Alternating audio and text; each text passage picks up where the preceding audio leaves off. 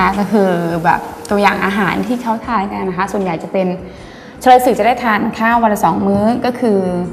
ข้าวกับผักดอง ถึงไม่ถึงก็ว่าอีกที แต่ว่ากรรมกรชาวเอเชียเนี่ยได้ถ้าไม่เท่ากันก็น้อยกว่าเยอะเลยนะคะทำกันได้ไง คนเหมือนกันนี่โหมีการลงโทษด้วยก องทัพญี่ปุ่นนำวิธีการลงโทษที่รุนแรงเกรี้ยวกราดมาใช้กับเฉลยสุเฉลยที่พยายามหนีและโดนจับได้จะถูกประหารชีวิต ซึ่งเป็นการกระทำที่ขัดแย้งต่อข้อตกลงระหว่างประเทศที่ลงนามโดยญี่ปุ่น มีคนจำนวนน้อยที่พยายามหนีจากทางรถไฟ และทุกคนถูกจับได้หมด หรือไม่ก็เสียชีวิตในขณะที่หนีดูความผอมสิผอมมากค่ะ นี่คือหลุมนะคะที่เขาไว้แบบทำโทษ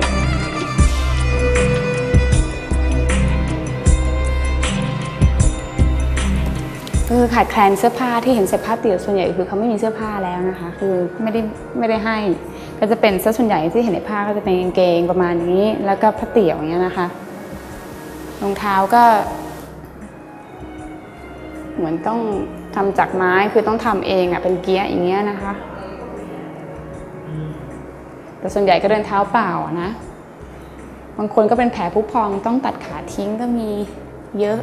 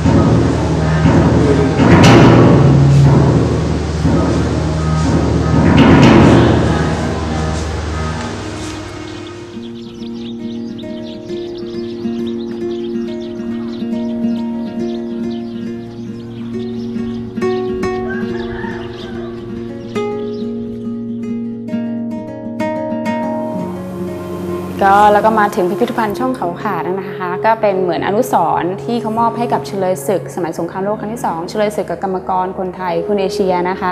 ที่ร่วมกันสร้างเขาเรียกว่าทางรถไฟนะสายมรณะแห่งนี้ นี่ก็คือเป็นแผนที่นะคะ ว่าเขาเริ่มจากตรงไหน ที่เราอยู่ก็คือตรงนี้ตอนนี้นะคะ พิพิธภัณฑ์ นี่คือช่องเขาขาดแล้วก็ไปตามนี้คือจุดต่างๆ ที่มีเลขนี่คือเป็นจุดต่างๆ ที่เขาบอกว่าน่าจะเป็นจุดที่โหดร้ายที่สุดนะคะ แล้วก็เข้ามาดูแล้วก็รู้สึกหดหู่มากนะคะว่าสงครามโลกครั้งที่สองนี่มันก็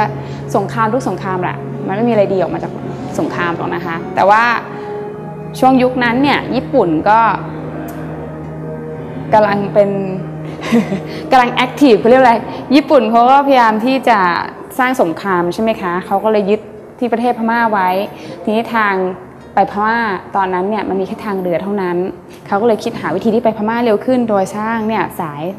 เส้นรถไฟเส้นเนี้ยเขาเรียกว่าสายมรณะเนี่ยนะคะ เพื่อให้ขนอาวุธ เพื่อไปทำสงครามเนี่ยให้ไปถึงไวขึ้น ก็โดยใช้เฉลยศึกชาวต่างชาตินะคะ ที่ ควบคุมมานะคะส่วนใหญ่จะมาจากประเทศสิงคโปร์ก็จะมีทั้งชาวอังกฤษออสเตรเลียเป็นส่วนใหญ่ แล้วก็มีชาวอเมริกัน มีชาวดัตช์หรือชาวฮอลแลนด์นะคะ แล้วก็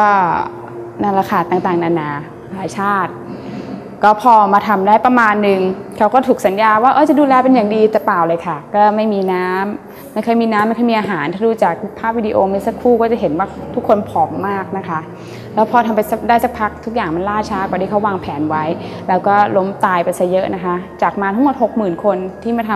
ำทางรถไฟนี้รู้สึกตายไปประมาณหมื่นกว่าคนนะคะพอคนงานไม่พอเขาก็เลยเกณฑ์มาเพิ่มขึ้นก็เป็นกรรมกรชาวเอเชีย ซึ่งก็มาจากประเทศทั้งประเทศเราประเทศพม่า อินเดีย อินโด มาเลเซียมาหมดเลยนะคะ แล้วก็มา 2 0 0แสนกว่าคน แล้วก็สรุปว่าโดนดูแลแย่กว่าเฉลยศึกอีก ดูแลแย่ซะจนกลุ่มเฉลยศึกต้องมาสร้างกลุ่มเพื่อมาดูแลพวกเขาอีกทีหนึ่งนะคะ ก็จะมีแบบหมอกับแพทย์อะไรเงี้ยเพื่อมาดูแลคนที่ป่วยส่วนใหญ่ก็ป่วยเป็นโรคอหิวา และก็ท้องร่วงนะคะตายไปประมาณทั้งหมดจาก 2 0 0 0 0ตายไป 90,000 กว่าคน ก็นั่นแหละค่ะ ก็โหดหลายมาก ก็นี่ก็คืออนุสรณ์ให้แก่คนเหล่านั้นนะคะ ที่ต้องมาทุกข์ทรมานอยู่ที่นี่ก็ ลองมาดูด้วยตัวเองแล้วจะรู้สึกนะคะว่ามันเป็นยังไง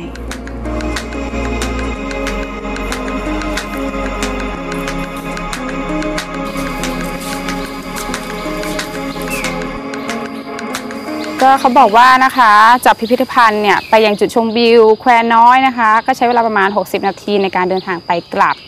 แต่ถ้าจะไปดูจุดทั้งหมดนะคะ ที่มีการตัดหิน รวมทุกจุดแล้วก็ใช้เวลาประมาณ 3 ชั่วโมงนะคะการเดินทางไปและกลับ แต่ถ้าเราไม่เน้นการเดินทางหรือว่า อะไรอย่างนี้เราก็ไปที่จุดนั้นๆได้เลย สวยเนาะข้างในนี้ แต่พอรู้เรื่องประวัติแล้วก็ขนลุก การพัฒนาบำรุงรักษาสถานที่ทางประวัติศาสตร์แห่งนี้นะคะ เกิดจากความมุ่งมั่นของอดีตเฉลยศึกชาวออสเตรเลีย ชื่อว่าคุณ J.G. Tom Morris นะคะ เอาน้องไหวไหมไหวไหมน้อง เห็นไหมคะ เดี๋ยวเราจะเป็นสภาพนี้ขากลับ เดี๋ยวคอยดูมิขากลับนะ อย่างนี้เลย เขาบอกว่า J.G. Tom Morris นะคะ เป็นหนึ่งในเฉลยศึกและแรงงานพลเรืองนับหมื่นคนที่ทำงานในการก่อสร้างทางรถไฟสายมรณะ เรื่องประวัติศาสตร์เป็นเรื่องใหญ่สำหรับชาวต่างชาตินะคะ เวลาเขาแบบอ่านเขาก็อยากมาดูว่าโหเกิดอะไรขึ้นบ้าง และโหยิ่งได้มาเห็นได้มาดูได้มาประสบ ว่าสิ่งที่เขาเคยทำมาในช่วงยุคนั้นมันเกิดอะไรขึ้นบ้างนี่มันยิ่งแบบ ยิ่งได้ความรู้สึกที่รู้สึกหดหู่แล้วก็เออต้องมาดูอะบรรพบุรุษเราโดนอะไรมาบ้าง หรือว่าเกิดอะไรบ้างหรือว่าข้อเสียของสงครามคืออะไรบ้างนะคะ เพราะฉะนั้นอย่ามีเลยสงคราม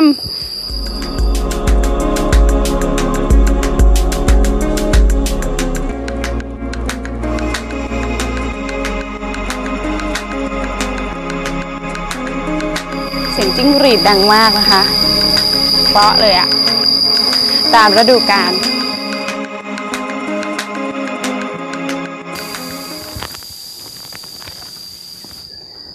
เขาบอกว่ารางรถไฟนะคะและไม้หมอนนี้เป็นของทางรถไฟสายเดิมในอดีตได้วางไว้ที่ช่องเขาขาด โดยคณะทหารกองร้อยซีกองพันที่ 3 แห่งกรมทหารหลวงออสเตรเลีย เมื่อเดือนเมษายน 2532 และได้ทำการย้ายมาวางณสถานที่นี้เมื่อปี 2549 ค่ะ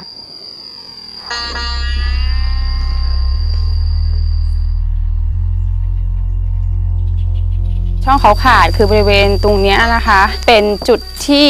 ลึกที่สุดและใหญ่ที่สุดนะคะ ในการทำงานทั้งหมดก็คือเนี่ยจะเป็นลูกเขาใช่ไหมคะ เขาต้องเจาะหินสองฝั่งเนี้ย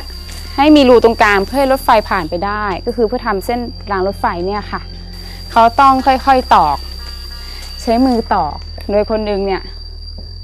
เหมือนกับถือไอ้ที่เจาะไว้ อีกคนนึงก็ค้อนทุบทำอย่างนั้นนะคะพอลึกพอก็เอาระเบิดใส่เข้าไป ก็คิดดูแล้วการใช้มือทำกว่าจะได้ทั้งหมดเนี่ยมันต้องใช้เวลานานขนาดไหน Hellfire Pass หรือว่าช่องไฟนรกเนี่ยก็คือเพราะว่าจากกองไฟหรือโคมไฟ หรือว่าจากไฟอะค่ะจะเห็นเงาของผู้คุมที่เป็นชาวญี่ปุ่นเนี่ยนะคะส่องอยู่ติดกับโขดหินอย่างนี้ แล้วก็จะเห็นสลับกับเฉลยศึกที่ทำงานว่าผอมมาก ก็เลยเป็นที่มาของช่องไฟนรกนั่นเอง นี่คือแท่นเจาะ เก่านะคะที่ชำรุดอยู่ตรงนี้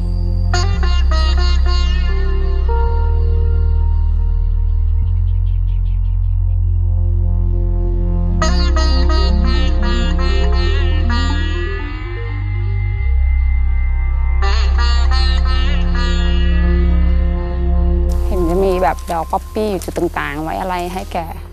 ทหารทั้งหลายนะคะ สาเหตุที่ได้ชื่อว่าทางรถไฟสายมรณะ สืบเนื่องมาจากทัศนียภาพของแสงไฟที่เกิดจากการใช้คบเพลิงและตะเกียง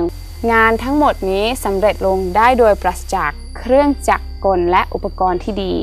สะพานข้ามเหวลึกที่มีชื่อเสียงมากที่สุดแห่งหนึ่ง นั้นอยู่ในบริเวณที่มีชื่อว่าหินตกเหตุที่เรียกชื่อนี้ เนื่องมาจากสะพานได้ทลายลง 3 ครั้งในระหว่างการก่อสร้างนะคะ นางก็จะอยู่แบบเหมือนจุดไกลๆ ถ้าเราดูในแผนที่จำได้ไหมในพิพิธภัณฑ์มันเป็นจุดที่หนึ่งนั่นเองนะคะ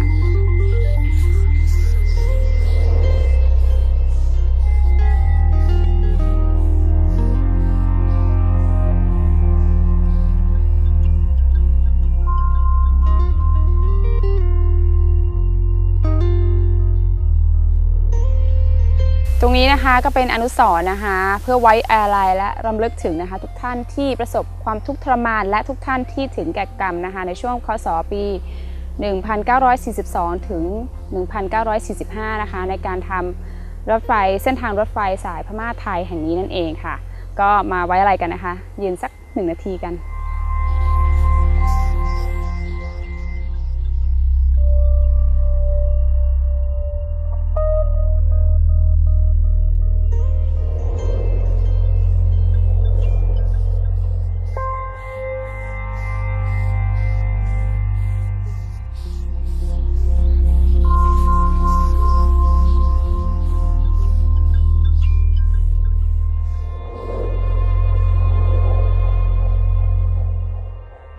สนับสนุนการเดินทางโดย สิงไลท์บีอิงอร่อย มีประโยชน์จนคุณรู้สึกได้